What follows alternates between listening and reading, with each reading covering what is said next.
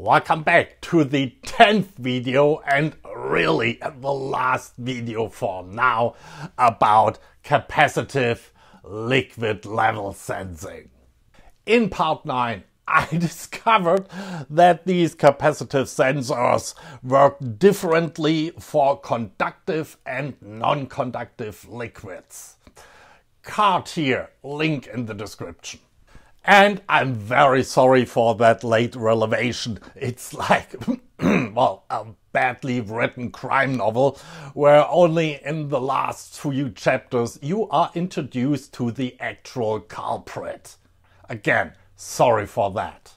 This video will start out with a very quick review of the first eight parts, where we will have to make maybe some corrections and additions in regards to measuring non-conductive liquids.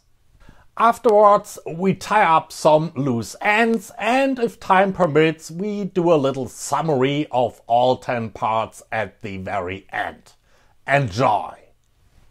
So, here's a short recap. In part one, and you find links to all parts in the description, we covered the basic physics of capacitance and we learned that capacitance is somehow proportional to the permittivity of the isolating material.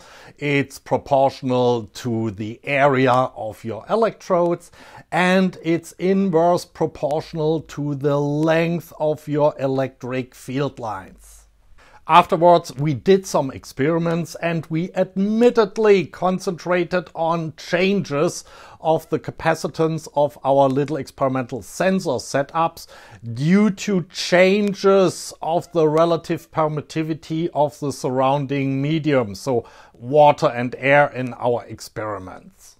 And that was clearly a mistake because changes of the relative permittivity are only relevant for really isolating liquids, not for water. As I've discovered far too late, admittedly, in part 9, the changes of capacitance for conductive liquids like water or even slightly conductive liquids like alcohol come from changing the length of the field lines, which are basically cut off because the liquid around the sensor acts like another conductive electrode. But at least we covered the physics of that effect. That is that the capacitance is inversely proportional to the length of the field lines in part one. Part 2 to 6 covered measuring the capacitance, first the basics and then later the analog to digital stuff. And it really doesn't matter which effect changes the capacitance you're measuring. In part 7 and 8, we talked about the use of a reference electrode to enable the measurement of liquids with different relative permittivities without the need to recalibrate the whole sensor setup.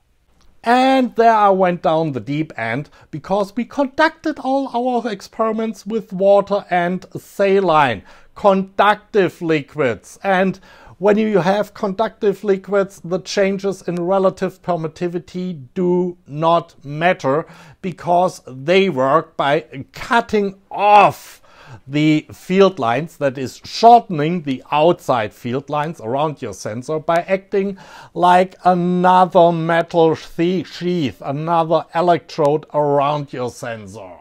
But anything I told you about the use of reference electrodes and how to minimize the creep of the reference electrode uh, was all true and is applicable. But yeah, just for non-conductive liquids. I have nothing to say about part 9 where we where I actually learned, sorry again, that there are two different mechanisms at work for conductive and non-conductive liquids. Let's tie up the loose ends now, three of them in total. And the first one is about the connections between your sensor and your electronics. We already talked about keeping them as short as possible to reduce the capacitance of your sensor setup in air and thus extending its dynamic range. And in addition, to avoid picking up or to minimize picking up outside noise, 50 60 hertz mainly. In that context, we also discussed the use of a coax cable for the connection to really shield things from 50 60 hertz noise. However, Jim9930 pointed out to me that this might not be a really good idea after all because your standard 50 ohm coax cable has a capacitance of about 100 picofarads per meter with the small capacitances we are handling here, that's enormous. And even if we would use a 100 ohm impedance coax cable, it would only get you down to about 50 picofarads per meter. And then there are, yeah, some really specialized 110 ohm, 120 ohm coax cables out there, very expensive, and that could bring you down maybe to 40 or 30 picofarads per meter. Still a lot of capacitance to add to our little setup. So yeah, better not use coax cables in that application. Second, I wanted to talk about the material we are using for isolation. There are two classes of materials, and that applies to both liquids and solids. There are polar materials like water and alcohol, and they are also called hydrophilic, that is, they are attracted to water, or lipophobic, that is, they repel fatty stuff. And there are non-polar materials, for example, oil, which are also called hydrophobic, so they repel water, or lipophilic, so they attract fatty stuff. And the thing is, polar materials are attracted to each other and non-polar materials are also attracted to each other, but polar and non-polar materials repel each other. You remember that little experiment where I pulled out the sensor out of the water or alcohol or saline and the readings would go down only very slowly because the liquid was kind of sticking to our isolation material on the outside. And that was water and alcohol are polar and obviously our isolation material here is also polar. So the liquid was sticking to it.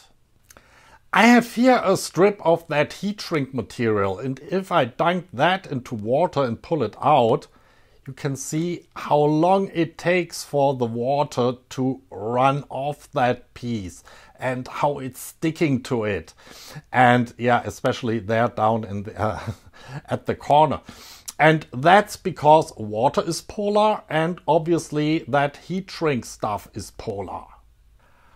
That's a piece of polypropylene pipe and if I put that into the water and pull it out, you see the water is rinsing off really quickly and only some small drops remain on the surface. That's because it's, well, non-polar. That's the outer PVC isolation from a power cord and if I dunk that in you can see the water is sticking to it quite well. Well, it's black on black, so but uh, you, you have to believe me the water is sticking to it. So it's also polar. And finally, I have here a PET or LDPE, so polyethylene bottle, low density polyethylene. And if I dunk that in, yeah, you can see there there are only drops left on the surface. So this is also non-polar. So, what polymers are polar and which are non-polar? I don't know. It seems to be an industry secret. So I never found any table, you know, overview. These are the 250 polymers in industrial use, and those are polar and those are non-polar. You really have to do a research for each and every one and hope and hope you stumble about a site or a vendor of that specific polymer that states it's polar or non-polar. And it gets even more complicated. For example, LDP or PET is nonpolar, while HD, so high density PE, seems to be polar. Uh, polypropylene is non-polar. There, we've seen that. The pipe uh, PVC is polar.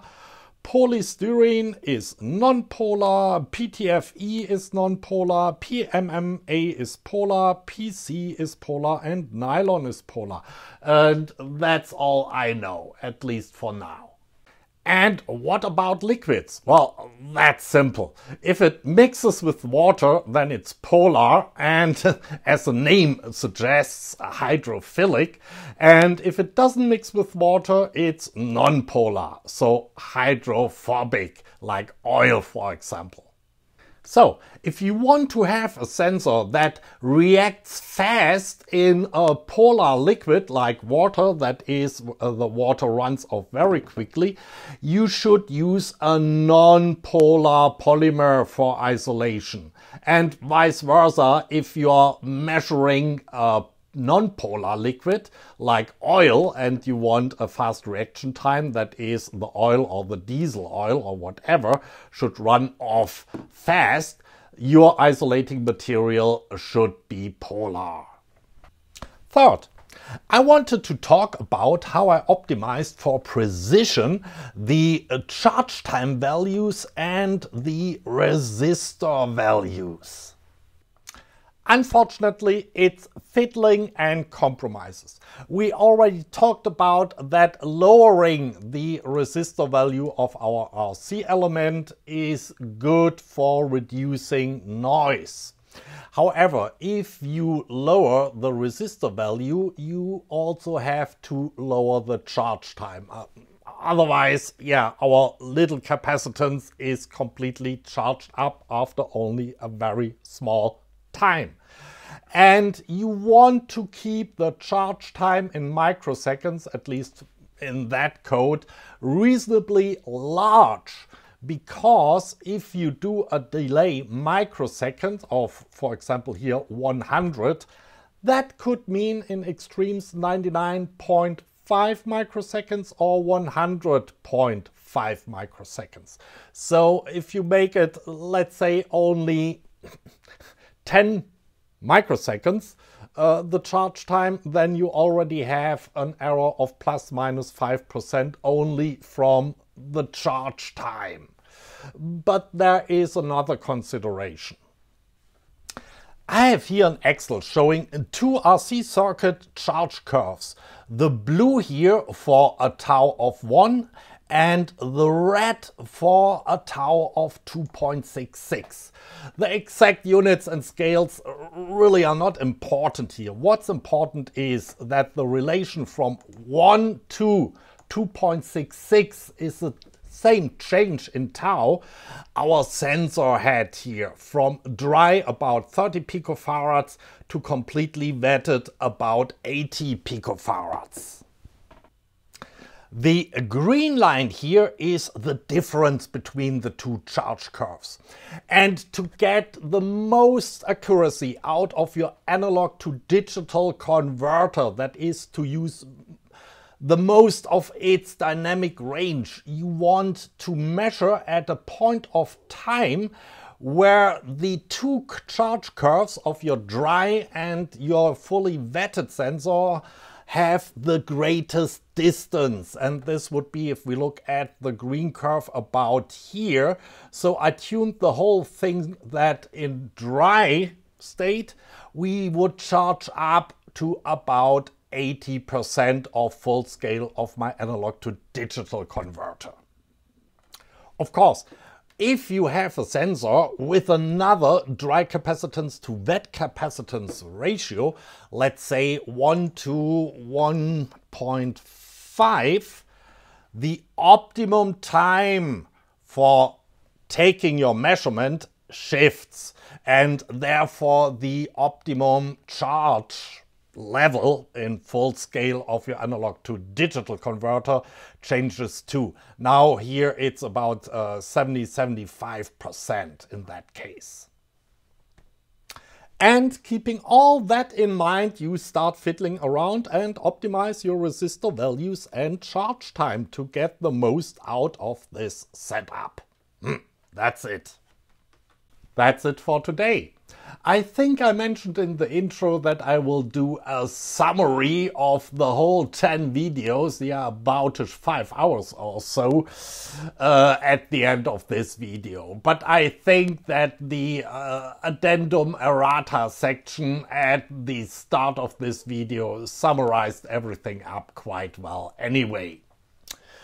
And to be frank, I'm a little bit tired now uh, talking about capacitive liquid level sensors, and probably so are you. Coming up next, probably a series of simple teardown videos so, to, so I can recover a little bit. Yeah, I spent most of my spare time the last 10 weeks doing these videos. Anyway, till next time, Bye.